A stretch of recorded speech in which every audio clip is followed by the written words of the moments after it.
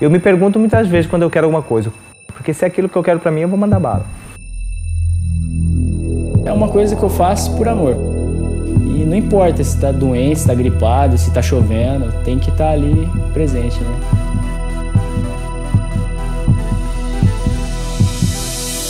Se você não tiver um sonho, você não, não tem por que mais seguir adiante. Se a gente vai conseguir, não sei, mas nós vamos batalhar para isso.